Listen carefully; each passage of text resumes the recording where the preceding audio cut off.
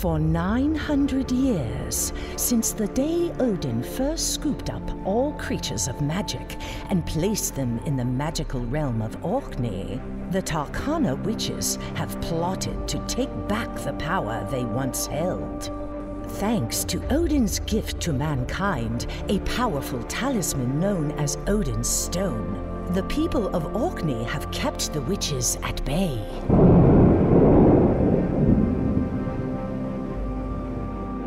As Abigail begins her second year at the Tarkana Witch Academy, she faces a whole new set of problems.